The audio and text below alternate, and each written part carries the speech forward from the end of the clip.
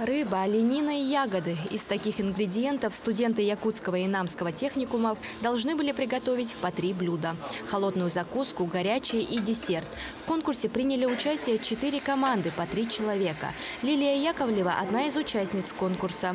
В кулинарных поединках она участвует не впервые. Как признается девушка, готовить она начала с малых лет.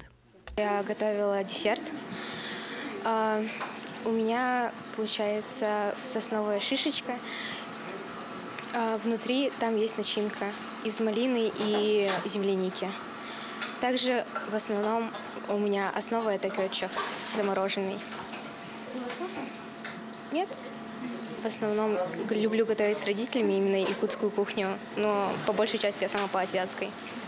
Жюри оценивали конкурсантов в соответствии с международными стандартами World Chefs. Это и соблюдение гигиенических норм, правильное профессиональное приготовление, внешний вид блюда и, самое важное, вкус.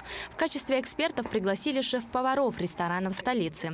Критериев оценки много, начиная от формы одежды, заканчивая подачей блюд. В кулинарии уже более 15 лет. Сегодня приглашен в качестве эксперта на э, вкус Якутии. Юбилейный уже 10 лет он проходит у нас в Якутии. Мы как независимые э, эксперты сейчас очень будет очень строго.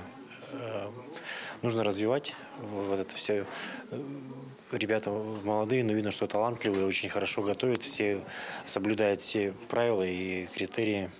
Являюсь э, членом жюри уже не первый год, приглашают на конкурс. Но вот сегодня такой как бы интересный, удивительный э, конкурс. Это «Вкус Якутии» по приготовлению якутской и якутской кухни и кухни арктических народов. Знаете, вот посмотрю, как, как ребята работают, очень хорошо вообще, молодцы, прям чувствуются какие-то новинки, вот собственное у них свое там идет В конкурсе победила одна из команд Якутского технологического техникума сервиса. Победители удостоились специального приза от Ассоциации гостеприимства, а призеры и участники – дипломами и сертификатами.